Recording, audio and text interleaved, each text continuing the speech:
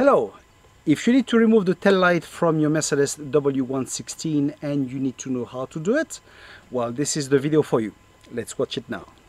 We will remove it from the boot and we will remove those two wheels, those two plastic wheels. Okay, perfect. Once it's done, we're just gonna remove the bulb holder here we go. And we're gonna remove the electric cables. This electric cables is the one that feed the number plate. Okay gone. And now the other one that feed all those bulbs. Perfect.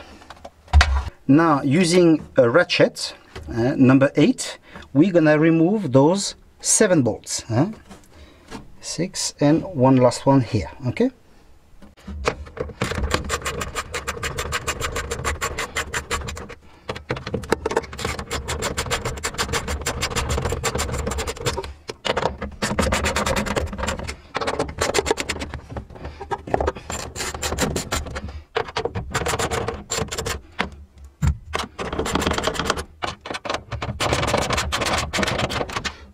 now that everything is removed at the back we're just gonna push it that way.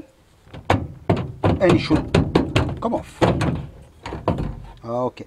Sometimes it could get stuck because the joint can be a bit uh, old and it can stuck to the bodywork. Okay? This is it. This is how we uh, we remove the entire tail light okay?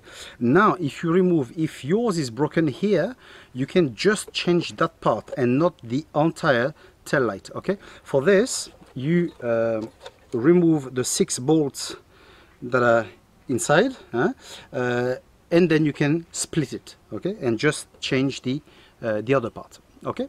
So that's it for today. I hope that you have liked the video and we'll see each other in the next one see ya